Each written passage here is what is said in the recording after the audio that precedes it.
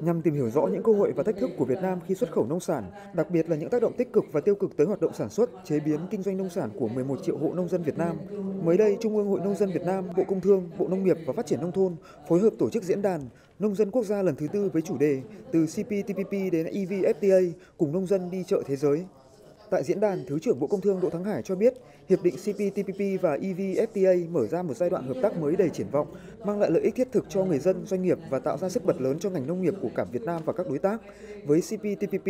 phần lớn hàng nông sản xuất khẩu chủ lực của Việt Nam được hưởng thuế suất 0% ngay sau khi hiệp định có hiệu lực hoặc sau 3 đến 5 năm. Đây là cơ hội để các doanh nghiệp Việt Nam tăng trưởng xuất khẩu cũng như góp phần đa dạng hóa thị trường xuất khẩu cho các mặt hàng nông lâm thủy sản có thế mạnh của Việt Nam. Dù có nhiều cơ hội lớn đối với nông sản Việt, nhưng các đại biểu tham dự diễn đàn đều cho rằng thách thức để chinh phục các thị trường trên thế giới cũng không nhỏ. Cụ thể, các thách thức đối với hàng nông sản khi xuất khẩu vào các thị trường thuộc hai khối CPTPP và EVFTA là rào cản kỹ thuật về an toàn thực phẩm và kiểm dịch động thực vật, rào cản về trình độ quản trị, trình độ công nghệ ứng dụng trong sản phẩm nông sản, vốn đang là những điểm nghẽn khiến nông sản Việt chưa thể thâm nhập sâu vào các thị trường khó tính như EU, Nhật Bản.